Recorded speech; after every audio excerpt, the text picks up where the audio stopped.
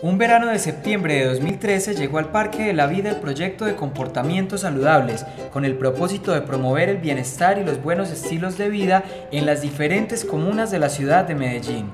A partir de octubre comenzamos a reunirnos un grupo de personas que desde diferentes áreas del conocimiento poníamos nuestro granito de arena para construir un sueño que día a día crece y se hace cada vez más una realidad.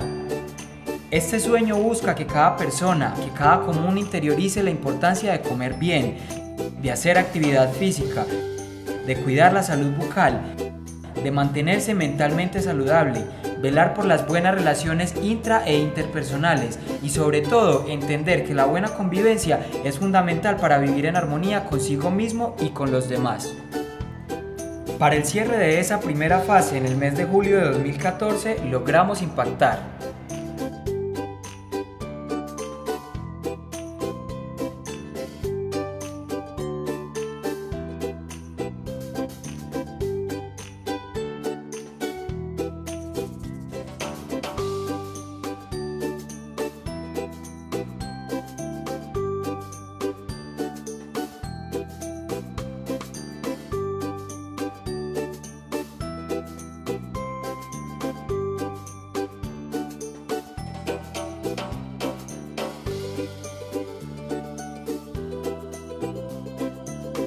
Gracias a estas cifras y más que nada al gran trabajo y los logros obtenidos con los participantes, es que hoy las mismas comunidades reconocen la importancia de este proyecto y nos brindan la oportunidad de comenzar una segunda fase con el apoyo económico, no solo de presupuesto participativo, sino también de jornadas de vida y equidad, que ahora se suman a este esfuerzo.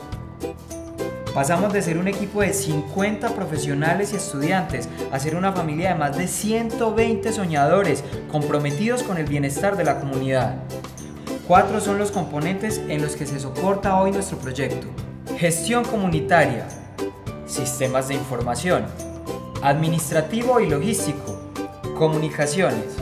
Cada uno de ellos con un objetivo estratégico y apuesta a un trabajo articulado para poder implementar un programa de promoción de la salud por medio de acciones y estrategias que favorezcan el ejercicio de comportamientos saludables en los habitantes de las comunas de Medellín, en los programas de presupuesto participativo y jornadas de vida y equidad.